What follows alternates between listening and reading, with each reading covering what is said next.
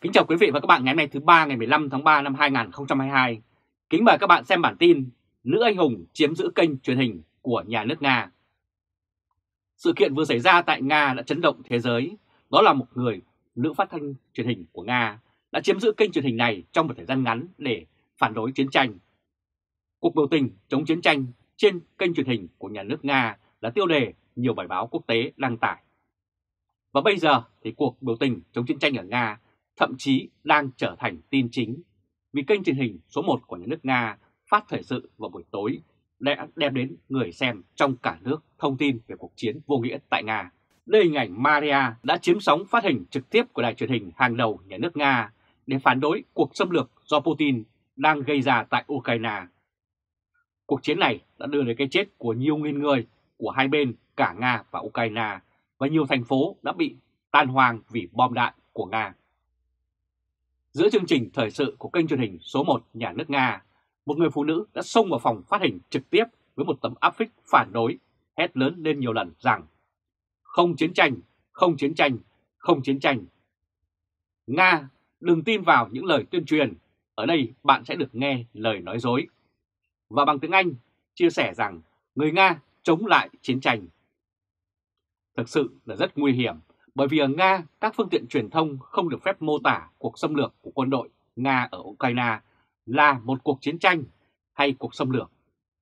Thay vào đó, ông Putin đã ra lệnh rằng chế độ độc tài ở đây đã được áp dụng đến hình thức ở những nước khác và quy định nói về một hoạt động quân sự đặc biệt mà thôi.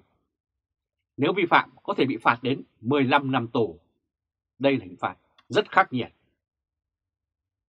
Đây là hình ảnh trên cả nước Nga, người Nga đã biểu tình phản đối cuộc chiến xâm lược của Nga vào Ukraine, đưa đến sự bắt giữ của hơn một chục ngàn người Nga khắp nơi. Nhân vật nữ của cuộc biểu tình là Maria, một nhân vật của đài truyền hình và cô được cho là đã bị bắt sau hành động của mình. Chưa biết cô sẽ phải chịu án tù bao nhiêu năm, nhưng đây là hành động rất dũng cảm. Phản ứng tức thì, đạo diễn của chương trình thời sự phát sóng 9 giờ tối theo giờ Moscow đã nhanh chóng phải chuyển chủ đề và chiếu các bức hình ảnh từ một bệnh viện. Nhưng đến lúc đó thì đã quá muộn. Những hình ảnh về cuộc biểu tình lan truyền như cháy rừng trên mạng xã hội. Cũng giống như một đoạn video mà đối thủ dũng cảm của cuộc chiến đã ghi lại trước đó đã được phát lên. Truyền thông Nga cũng đưa tin về điều đó nhưng đã làm mờ khuôn mặt của nhà báo can đảm và tấm áp phích của cô ấy. Đây vẫn là cách mà các chế độ độc tài vẫn hay áp dụng, đó là họ cố tình che giấu những gì mà người dân muốn nói ra.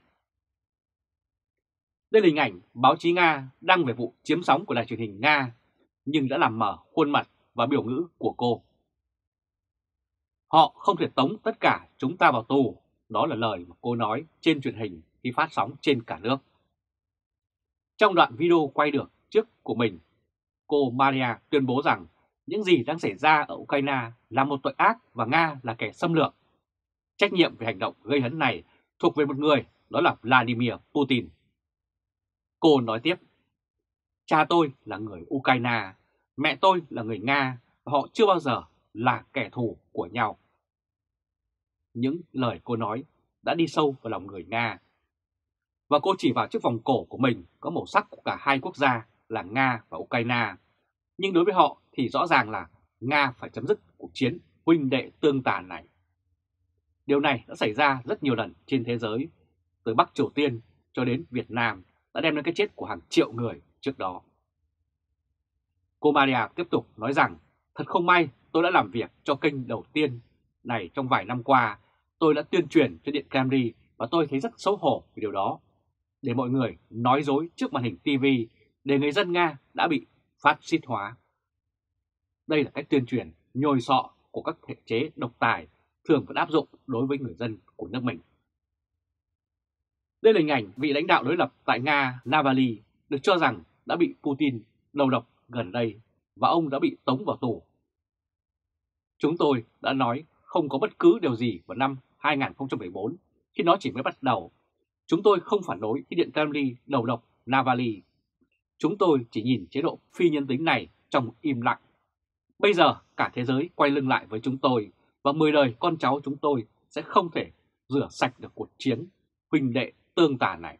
Và xa nữa, chỉ có chúng tôi, những người Nga nhân hậu và thông minh mới có được sức mạnh để ngăn chặn sự điên rồ này. Và cô yêu cầu rằng hãy đi biểu tình, đừng sợ bởi vì họ không thể tống tất cả chúng tôi vào tù. Cũng theo Tổ chức Nhân quyền OVD, khoảng 14.900 người Nga đã bị bắt ở đây và kể từ đầu cuộc chiến vì phản đối cuộc chiến tranh xâm lược của Nga tại Ukraine. Kính mời các bạn xem bản tin Điện Kremlin đang tìm cách thay thế Putin. Đây là câu hỏi được đặt ra và nhiều tin đồn đoán trong chính phủ Nga đưa ra rằng Vladimir Putin là một tổng thống cần phải thay đổi.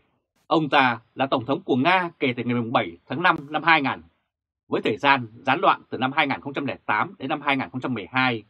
Mục tiêu của ông ta là đưa Nga trở lại một cường quốc. Đây là hình ảnh ông Vladimir Putin nhậm chức Tổng thống Nga với sự chào đón hai bên của chính phủ. Đó là lý do tại sao ông ta tiến hành chiến tranh ở Ukraine và sẵn sàng chấp nhận cái chết của hàng ngàn người, cả ở hai bên, bao gồm lính Nga và lính Ukraine, cũng như những thường dân. Những người am hiểu về tình hình ở Điện Kremlin nhận định rằng Nga đang đánh trận cuối cùng của Putin và điều đó có thể liên quan đến sức khỏe của ông ta. Dường như bất chấp mọi phản đối của quốc tế và Liên Hợp Quốc, Putin vẫn tiếp tục đưa thêm quân để tấn công vào Ukraine. Theo những người trong cuộc, ông Putin đang gặp vấn đề nghiêm trọng ở lưng và phải dùng thuốc điều trị. Đau lưng được cho là tai nạn với tàu lượn có động cơ. Ngay từ mùa thu năm 2012, người ta đã đồn đoán rằng người đứng đầu Điện Kremlin bị đau lưng nghiêm trọng. Theo hãng tin Reuters, ông ta được cho là thỉnh thoảng phải mặc một chiếc áo bó chỉnh hình. Tờ báo Vedomosti của Nga vào thời điểm đó viết rằng vết thương cũ của Putin đã trở nên tồi tệ hơn sau chuyến bay của ông với đàn xếu vào tháng 9 năm 2012. Và các bạn cũng từng thấy ông Putin thường thể hiện mình với sức khỏe vượt trội bằng hình thức khác nhau. Đây là hình ảnh ông Putin bay cùng đàn xếu trên chiếc tàu lượn này. Vào tháng 5 năm 2021, nhà chính trị học và sử gia Valery Solev từng công tác tại Viện quan hệ quốc tế nhà nước Moscow, đã nói về việc Putin có thể từ chức vì ông ta phải dùng thuốc mạnh có tác dụng phụ hết sức nghiêm trọng. Ngoài ra cũng có suy đoán về khả năng ông ta bị bệnh ung thư. Nhưng ngay cả giới thân cận nhất của ông dường như cũng không ai biết một điều gì cụ thể vì ông ta khá kín đáo, vốn là cựu sĩ quan KGB của Liên Xô cũ. Đây là hình ảnh ông Tổng thống Nga Ensin trước đó cũng từng bị bệnh nghiện rượu. Ông này hay uống rất nhiều rượu bất chấp các thủ tục quốc tế. Mùa thu năm ngoái, Solev cho biết người ta đang nghiên cứu về thuốc chống ung thư cho Putin. Maria, con gái của Putin, một nhà nghiên cứu chuyên khoa, bác sĩ nổi tiếng được cho là cũng đang tham gia công trình nghiên cứu thuốc ung thư này. Ngoài ra còn có tin đồn dai dẳng rằng Putin lại bị bệnh Parkinson và phải dùng thuốc Serolus cùng nhiều thứ khác. Kể từ sau cuộc tấn công vào Ukraine, Putin đã được cho là tự cô lập mình hoàn toàn, không chỉ vì nỗi sợ bị nhiễm corona. Các nguyên thủ quốc gia gần đây đến thăm ông phải trải qua cuộc kiểm tra PCE của Nga đàm phán với ông ở một chiếc bàn dài lớn cách nhau tới 7 mét. Như Thủ tướng Đức Olaf Scholz và Tổng thống Pháp Macron cũng bị đối xử như vậy. Đây là hình ảnh ông Putin phải ngồi trước một cái bàn dài đến 7 mét để tiếp lãnh đạo các nước phương Tây. Dường như ông ta sợ đầu độc hoặc lây nhiễm bệnh cho mình.